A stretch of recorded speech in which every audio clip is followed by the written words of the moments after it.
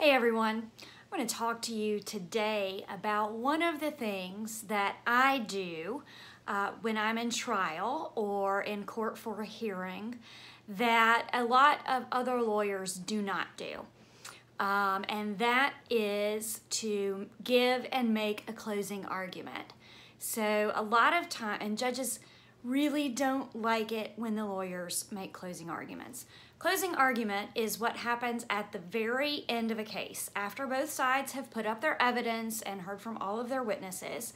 And then there's the opportunity to make your final closing statements. And most judges, when we go to seminars, will say, hey, we don't need to hear your closing argument. We've already decided. And a lot of lawyers, recognizing that, will say, okay, well, I will waive argument and submit on the evidence. I don't ever do this. And the reason is that closing argument is the time when I get to show my client everything that we have done, that we tie up the whole case um, and make our final last statement as to why our position should win.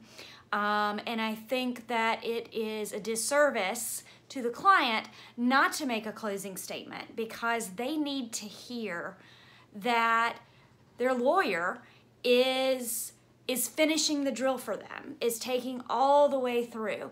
So I say, even if it's not judge's favorite thing to sit there and listen to me make my final summation, it's important um, that I show my client uh, more than anything that I am not giving up until I have done absolutely everything that I am permitted by law to do.